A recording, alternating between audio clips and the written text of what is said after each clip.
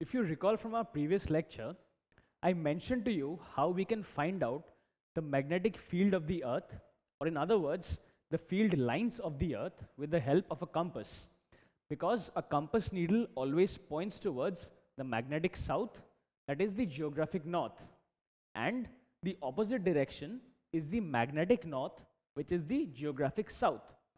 Now let us study more about the behavior of the magnetic needle in the presence of the Earth's field.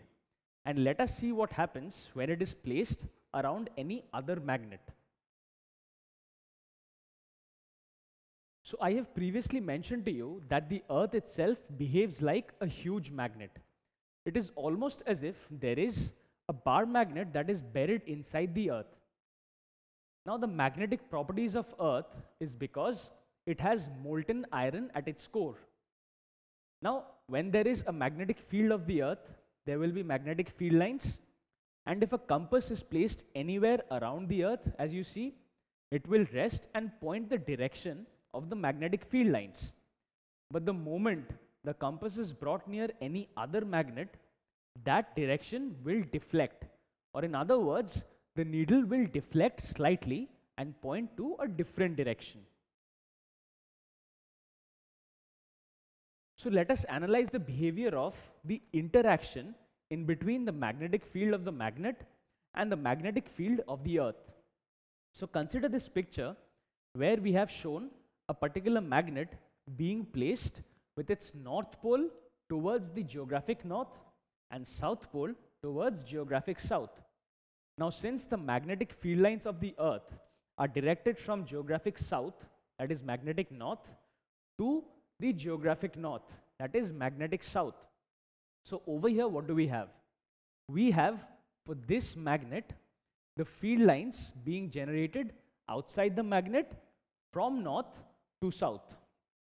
Now notice carefully what happens at two points marked as X. Now at these two points you will find that the direction of the magnetic field lines of earth that is the earth's magnetic field lines are opposite to the direction of the magnetic field lines of the bar magnet. So this is the direction of the earth's magnetic fields. This is the direction of the magnetic field of the magnet. Now as you can see at the center, the magnetic field lines are far from one another, which means their influence or strength of magnetic force is less than at the ends where the field lines are crowded. So a point comes when owing to the fact that these two are opposite, the magnetic field becomes zero. Or in other words, the net magnetic field due to earth as well as this magnet becomes zero. Why? Because not only are they oppositely directed, the strength of these two, that is the strength of earth's magnet as well as this magnet becomes equal. So at this point, the directions are opposite and the strength becomes equal. So net magnetic field is zero. Similar thing happens at this point. The magnetic field of the magnet is in this direction, whereas the magnetic field of the earth is in the opposite direction. They are in the opposite direction and the strength is also equal. So this point also has net magnetic field equal to zero. Now a different orientation of these zero magnetic field points can be obtained if I reverse the given magnet. So earlier the magnet's north was pointing towards geographic north. Now the magnet's south is pointing towards geographic north. So now let's see what happens.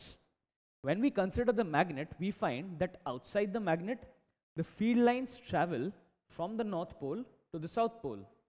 And the field lines of earth are traveling from the geographic south to geographic north that is magnetic north to magnetic south. Now notice two points marked as X. At these two points, let's see what happens. The direction of the magnetic field of the magnet is in this direction towards geographic south. And over here, the direction of Earth's magnetic field is in the upward direction or towards geographic north. Now a point comes when these two magnetic fields become equal in magnitude. And as you can see, they are oppositely directed. So the net magnetic field becomes zero. A similar thing happens at this point. The magnetic field due to the magnet is in this direction. It is in this direction and the Earth's magnetic field is in this direction. So as you can see, this and this or this and this are oppositely directed and at this point x the two magnetic fields cancel out one another because they are of equal magnitude and opposite directions. So at these two points the net magnetic field is 0. These points are known as neutral points. The point at which the net magnetic field is 0 is also known as a neutral point. So what are the characteristics of the neutral point? At the neutral point, the magnetic field produced by a magnet is equal in magnitude to the Earth's horizontal magnetic field and it is opposite in direction to the Earth's horizontal magnetic field. So there are two aspects to remember. It is equal in magnitude and opposite in direction. Thus, the resultant magnetic field at neutral point is equal to 0. So in this case, at these two points, the resultant magnetic field is 0. Why? Because the magnetic field of the bar magnet is equal and opposite to the Earth's horizontal magnetic field. In a similar manner, even in this case, at these two points, the net magnetic field is 0 due to the same reason. That is, the Earth's horizontal magnetic field is equal and opposite to the magnetic field of this magnet. So what do you think happens to a compass needle when placed at these neutral points? Now at these neutral points I told you that net magnetic field is 0.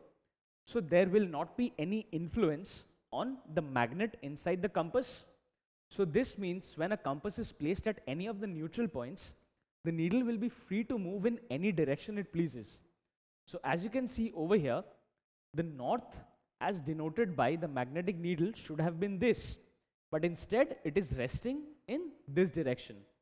Even in the second picture you will find that this is supposed to be north, but the needle is resting in this particular direction. So when the needle is placed or when the compass is placed at any of the neutral points, there is no influence on it of any magnetic field, which means that the needle will be free to rest in any position. Even if I am to shake the compass, then the needle after being shaken will rest at any position it pleases and not in any north-south direction particularly. So at the neutral point we can say the compass needle rests in any direction.